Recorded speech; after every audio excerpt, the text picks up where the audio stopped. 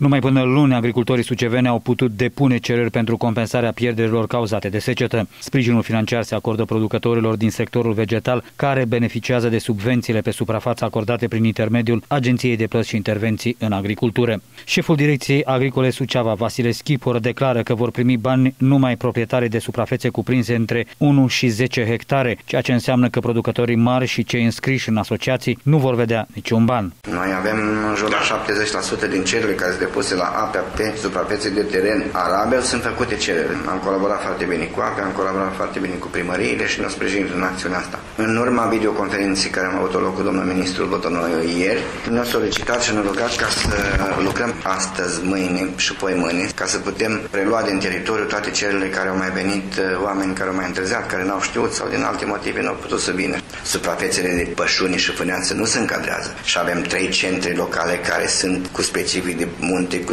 pășune și fâneață. Este vorba despre Batra Dorne, Câmpul Lungu, plus Vicovul de sus. Eligibile pentru plată sunt în jur la 35.000 pe tot centru. Eu preconizez pe data de 15 să avem în jur la 23, 24 până la 25.000 de cereri. Deci în jur la 70% din producători în condițiile APIA, suprafețele eligibile sunt de minimum un hectar format din parcele mai mari de 30 de ani.